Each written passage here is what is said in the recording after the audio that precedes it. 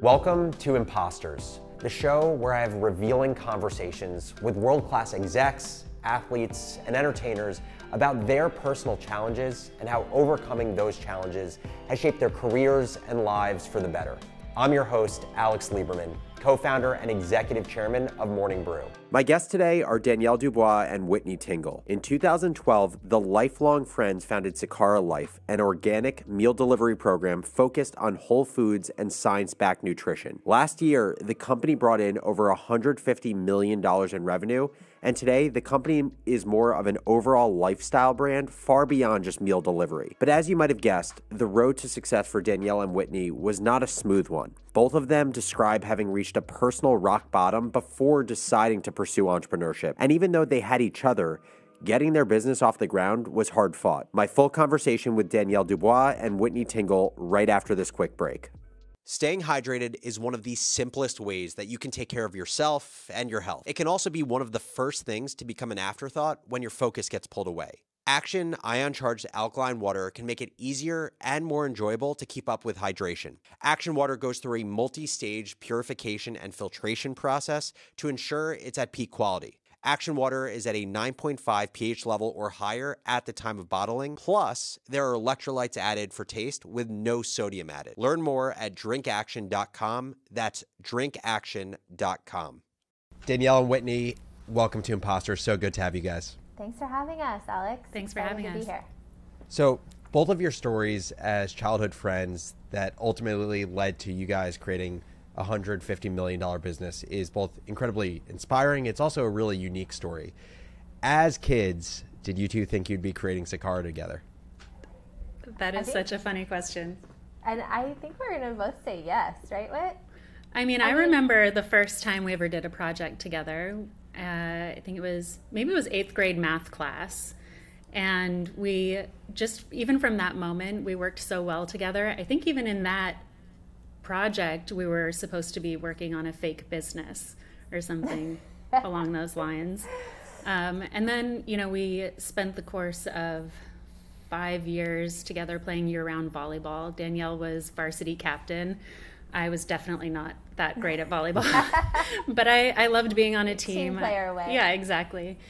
And I think that that was really impactful on becoming partners together building communication, building trust. Even now, we kind of refer back to some of those things that we learned about calling the ball. I got this, no, you got it.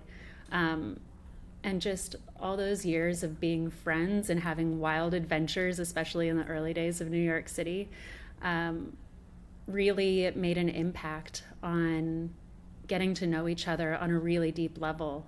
And that's important when you're business partners. Totally. And I mean, you guys have the amazing fortune of building trust over, you know, decades. I think back to my relationship with my co-founder Austin, and I think about how that was both the most important choice I ever made, but also the luckiest choice I ever made because, you know, this guy became my co-founder in basically five weeks of knowing each other, and we had no idea what this was going to turn into. But you said something interesting before our conversation, which is like that that people mistake the two of you all the time, and it's funny because a similar type of thing is done for Austin and I. We both look like you know generic looking uh, Jewish dudes from the Northeast, and and but but the the interesting part is. Um, on the non-optic side, I would say uh, uh, Austin and I are incredibly different people as thinkers. Um, and I think that's why we've worked so well together over the years. As you guys have grown as partners, have you noticed that the way that you both think tends to go in different directions, or you're more similar than Austin and I? Like, how, how do you guys think differently or similarly from an, one another? I would say, you know, in a lot of ways, we think similarly. Like, we speak telepathically. Like, there's so many ways that we communicate that we don't even have to say the words, which is so efficient and so mm-hmm. helpful. Mm-hmm. Um, but there are kind of fundamentals that I'd say are different between the two of us. I'd say Whitney is always thinking about the long game, like always thinking about the future, always making sure like the decisions that we make now are with the future in mind. Where I'm more mercurial and I like change and I like to like push the boundaries and I don't like rules. And Whitney definitely has some of that too. These are not as divergent as they might sound. I'm just um, a little bit more I, conservative and hesitant. yeah. Whereas like Danielle's like, those, go, right? go. Yeah. Yeah, and we get to play off of those. And then I'd say the the best thing is with that deep trust comes really profound communication and not just telepathically, but we understand each other in a way that we don't have to go explain ourselves. And I think it helps us. We do a lot, a lot of brainstorming together so that by the time our team hears something, we've gotten to work through it in our head um, and make sure we're really clear about like where we're going, what we're thinking, what we're doing, innovation, etc. Well, I want to uh, in a minute talk about you know how you guys have leaned on each other at different points of the journey. But for a second, I just want to isolate each of you individually and your journeys to getting to where you are today. You know, Sakara's journey, just like any entrepreneurial journey, is one that is long and winding. Whitney, let's start with you. What was your journey to ultimately realizing Sakara's vision and mission? Well, so as you mentioned, Danielle and I grew up together. We were childhood friends, grew up in Sedona, Arizona. It's this small, hippie, spiritual town, kind of on the forefront of this new age thinking, um, mind, body, food, medicine, and people come there from all around the world in search of healing.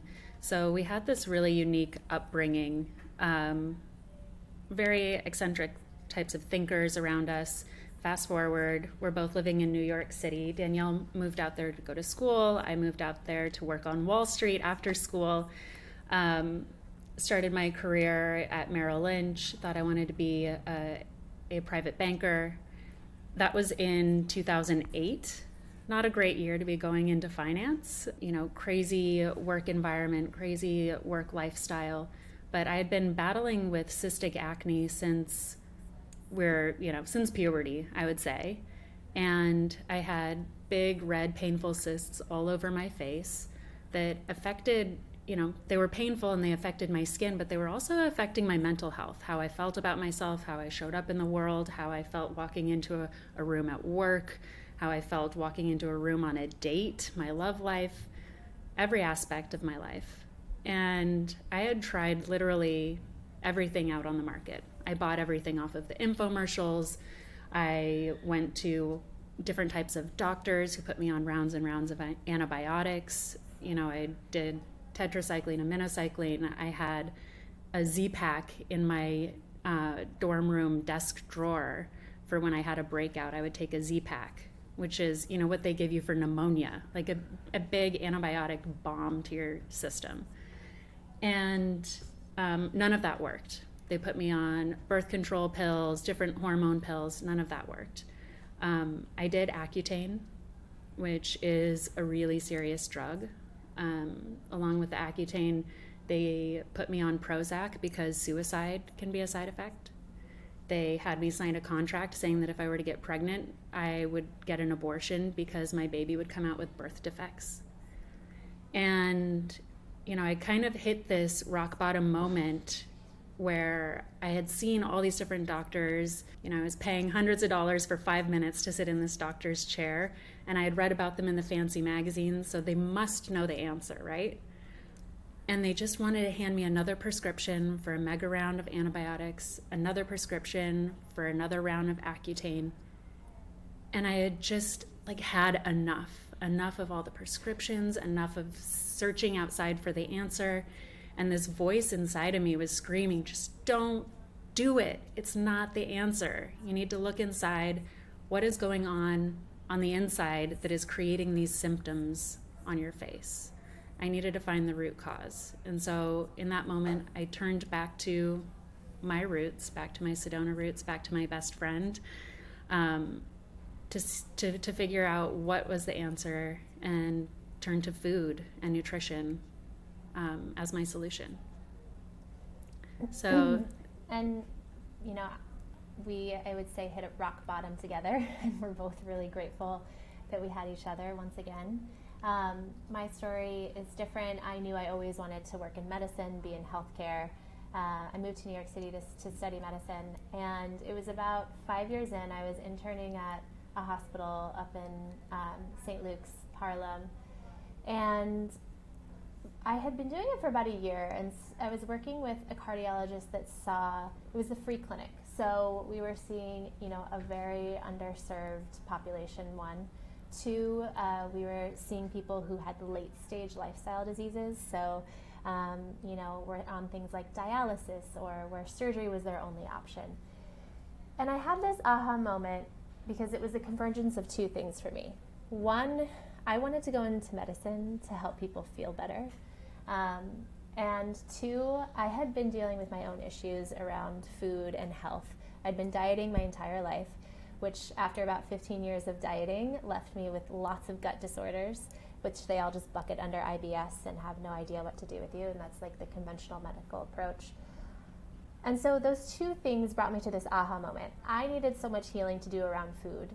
Seeing these patients that had late stage lifestyle diseases, wondering who got to them before they were late stage lifestyle diseases. Because thank God for conventional medicine that was, you know, helping these people at least have a more comfortable life.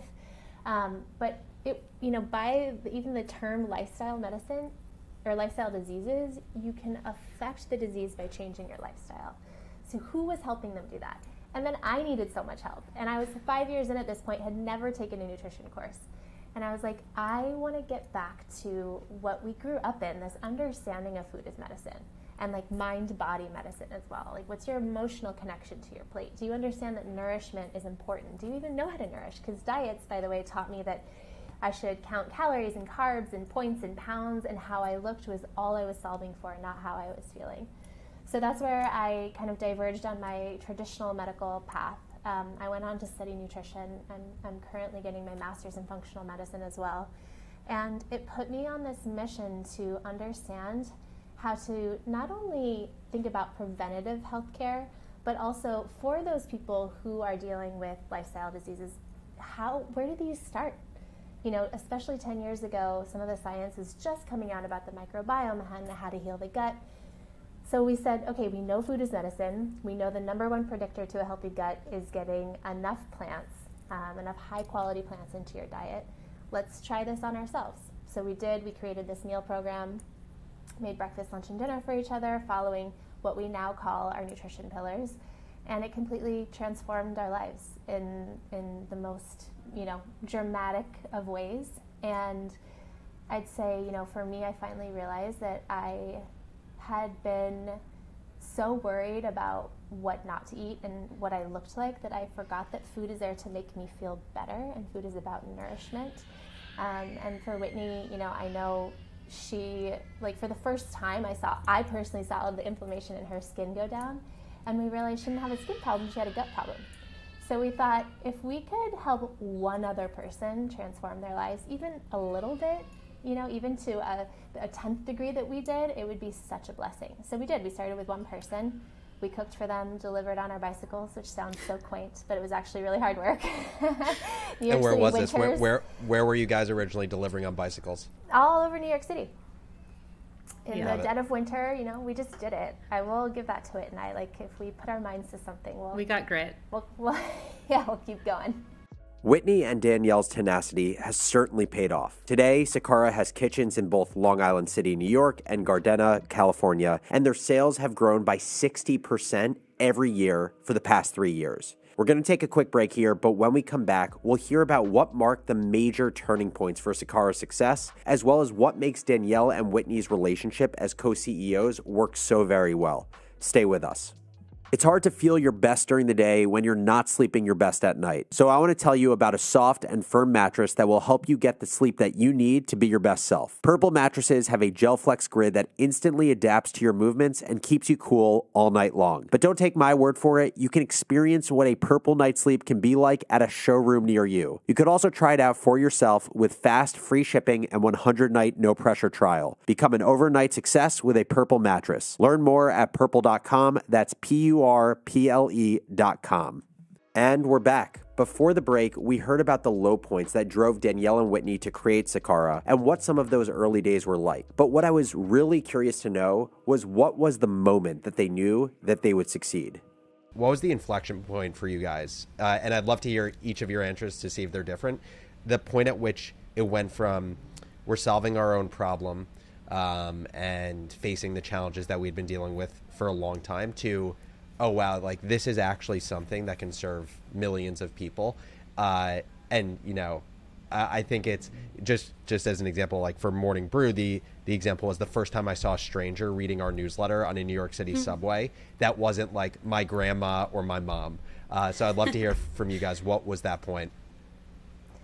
Um, well, I'd say there are a couple, so I'll leave one for you, it, because I'm sure okay. you have the same ones. But um, you know, I'd say one of the most meaningful ones was we got, you know, a, a testimonial very early on, and the testimonials would always come at the point where we were like, what are we doing with our lives? Like we're cooking all night for we people. We can't do this. All morning. This isn't gonna work. We're, yeah, we're like CS people. We're the finance function. We're like we like what are we doing we didn't have any employees yet it was just us we had like fake pen names so we could escalate problems if we had to um, it was it was mayhem and madness and then i remember one of our first testimonials um, which we're about to have our 10 year anniversary or it's right now i guess um, and we should reach Congrats. out to him i've been thinking about this but we should reach yeah. out to him because um, it was one of the first ones where I was like, this is so much bigger than we could have even fathomed. And it was this man who he wrote us an essay and he said, I've been traveling all over the world looking for a solution to um, the type of cancer he had. He had a specific cancer that was cancer of the, your nerve sheaths, which you can imagine is incredibly painful. It's literally your nerves um, with tumors. And he said, you know, it was clear that inf- lowering inflammation really helped with, his pain. So he went all over the world. He did all these medical retreats. He saw all the top doctors. And he said, I've been on your program for three months and I've never felt better. I've gotten off of several medications. So much of my pain is down. So much of my inflammation is down. And it was this aha moment of this is one person's story. You know, when we set out to do this, we felt like we were going to find people that were some version of our own stories. And it was this realization that everyone's going to have their own reckoning, their own reason why they're ready for this transformation, why they are so desperate to take their health into their own hands. Sometimes it's as unfortunate as cancer, and sometimes it's I just like crave to like just crave that feeling of feeling like my best self, and I haven't felt that way, or I'm a new mother, or I'm dealing with autoimmune disease. And then it was just like testimony after testimonial would show us that everyone, we, we can meet people where they are. It doesn't matter what you're going through. This is a tool in your toolkit to help you feel really good. And that was, we were having a dark day that day and, and feeling, I remember riding in the taxi cab together, just being like, oh, we can't do this anymore. Like, it's just too much. And then opening up our email, seeing that email, and just crying, being like, this is a message sent from the universe telling us we have to keep going, that people need this. People need us to continue to bring this out into the world. And um, I think that I it's that. it's really um, what has kept us going over the years is remembering that this isn't about us as entrepreneurs, about trying to be a success, but really about being in service to others. I love that. Before we move on uh, to uh, the next question, Whitney, do you have uh, a mm-hmm. story of your own when you felt like there, there was a major inflection point in the business where, like, you knew this was going to be something that could help millions of people? I mean, after we got our first press hit, that was pretty big. I think we didn't know the power of press. Um, we thought it, it would just be cool, a, a, great way to get our name out and whatnot. We um, we had gotten this girl's business card randomly and had saved it. I mean, Danielle and I had collected business cards since we, you know, living in New York City. It, this was over a decade ago, so the business cards still existed. I was gonna, I was gonna say I don't even know what those are. yeah, R.I.P. business cards. Um, but we put them in plastic Ziploc bags, and when we were like, "All right, let's do this. This is gonna be a business," we pulled those like out of drawers and dumped them on the floor and looked through and found this girl's business card, and um, it was one I had collected, and Danielle grabbed it and she was like, "Okay, email this girl." I'm like, "I don't know her. I don't, I, I don't even. I had never even met her. I just got this card." She was like, "Do it," And I'm like, no, I can't. So she grabs the computer and she emails her. She's like, hey, girl, great to meet you, or good to see you. Um, hope you've been well. Wanted to catch you up on what we've been up to. Started this business, think you'd be into it. Um, you know, let's meet up or something just super casual. Meanwhile, she was the lead editor for New York City for Daily Candy, which another Wow. RIP. Um, Yep. but and the girl responded and was like, "Wow, sounds super cool. Let's meet up." And so we met up with her. We told her about what we were doing.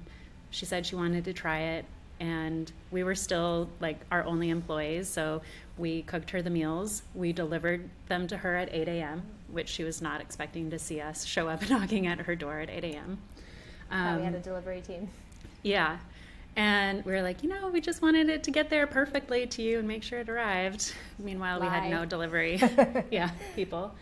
Um, but she loved it and she decided to write about it. And I remember that day that the article hit because Danielle sent me a text message like, oh my God, did you see the emails? And my heart dropped. And I was like, oh my gosh, did somebody like get food poisoning or something? And I opened up my computer and it was just page after page of how do I sign up? I want to do this. Let's uh, let's talk about your guys' relationship. What's uh, what's a moment or two uh, in your journey, whether it's professionally or personally, where you realized how grateful uh, that you are to have one another? Are you just going to make us cry right now on this podcast? That, that's the goal. That, that that that is the goal. Oh man. Oh man, I mean, there's so many. I mean, Who wants to start? every like No, literally it, it's every literally day. every day. Like there's just there's so we both have kids now, so we've both been through each other's uh, maternity leave. it's so painful, is you just um, it's like not having your right arm or left arm, depending whichever arm is dominant for you. It's like you know, there's a way in which I feel as though decisions are best when they go through both of our brains. And I just know that for Sakara. Um, and so when I'm missing her because she's out or sick or whatever, it's like I desperately miss her input and her strategic thinking and how smart she is. And, you know, she's always, always like, she's never afraid of the details, one, which I'm not afraid of them. I just don't think they always matter. and, you know, Same. yeah. And it's, um, you know, there's like so many examples of where her tenacity has gotten us here. Like I remember early on, um, she discovered that there was this way if you were a, a young business in New York City, you could get free legal. And but to do it, you had to like fill out all. It was basically like a grant, and I was like, oh my god, let's just pay for legal. This is like so ridiculous. And she like stayed up all night and just did it. And then we got approved. And then for two years, we had like the best free legal team at like Kirkland or something, like It's top incredible. legal team, and it saved us like hundreds No. of thousands of dollars. We they actually completed our um, first we were at Kirkland and then we got a second grant and we moved to Curtis Mallet, who is another massive New York City law firm. Yeah, the, these are firms that are charging These are like you know, top five, thousands top ten of dollars an hour. Exactly. Yes. Yeah. And they gave us a bill at the end of it that was zeroed out, but to show us how much it would cost, it was a quarter of a million dollars Oh in my legal God. fees. Um, so, you know, worth That's unreal. But we wouldn't have been able to afford it otherwise. You know, we bootstrapped the business ourselves. We we don't come from wealthy family backgrounds. We didn't have you know daddies or boyfriends to bankroll us. Like we built everything from scratch, from the ground up, and through hustle. So, um, you know, sometimes it takes a little extra work and a, a little extra effort, but in the end, it, it, it pays off. Okay, I want to finish up with your guys' mental wellness toolkit. So, I want you to share with me when you're going through a funk, whether it's a funk professionally, personally, and you're just trying to get yourself out of it um, and just gain clarity, feel better. What are three things that help you get out of your funk? Uh, Danielle, I'll let you go first, and then Whitney. Um, well, I know this is, I don't know what the word is, but uh, having my my food and my nutrition taken care of because I can forget to take care of myself too. Just because I, you know, I own a health company doesn't mean that you know it's always my number one priority. And in fact, it isn't always my number one priority, and that's why I am my own best customer. And it's really important to me because quality input is quality output, and we teach this a lot at Sakara. Um, and so, you know, I, I, I, I live by that. I don't just talk about it. So when my nutrition is taken care of, it saves me so much thought coming home to that breakfast, lunch, and dinner cadence is, is transformative for me. Mm-hmm. Um, I'd say the other, there's two other things. One is sometimes when you're so head down, I feel like you need perspective. So the the two things that help give me perspective are one, some form of art. Like I really appreciate people's creativity and you know, it's almost like this connection to spirit or this connection to something bigger than ourselves. So whether it's you know, going to a museum or I live in the Lower East Side. There's lots of incredible young creative people down there. Um, I immerse myself. And then the other thing is, um, we just had Marianne Williamson actually on the Sakara Life podcast. It hasn't launched yet, um, but we just interviewed her, and I've been a huge fan of her for a really long time. Um, I actually have her book here. Um, she actually ran for president back in 2020. Um, but she wrote a book called A Return to Love. And it literally is a return to love. And so when you're, her whole thing is like you're either walking in love or you're walking in fear at all times. It's very black and white, and there's actually no in between. So when I'm feeling off, it's usually because I'm walking in fear. And so, how do you reorient yourself to walking in love and understanding? As Whitney said, um, one of the things I strive toward is trusting the flow of the universe and, and trusting that things are happening as they should and because they should. And this book in particular is one of those things that helps me come home to that. I love that. Um, Whitney, how about yours? Um, I would definitely agree with Danielle about having my food and nutrition taken care of as number one. Um, I think we have to look at our physical stressors first. I think our mental stressors are a little bit more difficult to deal with. And our physical bodies Im- impact our mental stress and our mental health.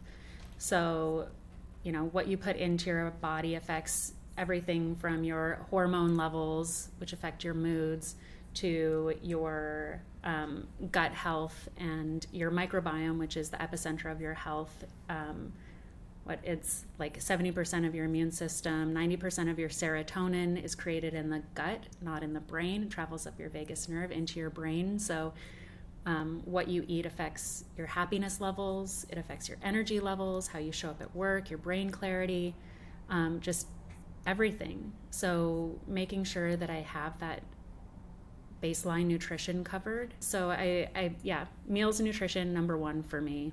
Sleep, I'd say, is number two. Um, getting seven to eight hours of sleep every night. It's hard for me to do. I have a two year old, and uh, he doesn't always sleep through the night. He also has type 1 diabetes, so, you know, multiple nights I'm up dealing with blood sugar issues. Um, and if I'm feeling stressed and my mental health is out of whack, like I have to take the steps that I need, whether that's asking for help, asking my husband for help, asking a family member for help, asking Danielle and my team for help so that I can try to to get that 8 hours of sleep. Just like waking up the next day rested makes a world of difference. Um, and then I'd say getting time in nature, like walking outside, putting my feet on the ground, you know, grounding, reconnecting with the energy wavelengths of the planet. Um, you know, walking next to the beach if possible, getting those negative ions. It just it automatically reduces my stress levels and improves my mood without having to do anything. This has been awesome, guys. Thank you so much for talking about your journey and, you know, more importantly than your business success, which has been obviously incredibly impressive with Sakara. I've just been blown away by the relationship um, and mutual respect that you guys have for each other. So thank you so much for sharing your story and your business's story. Thanks so much, Alex. Really Thanks for having it. us.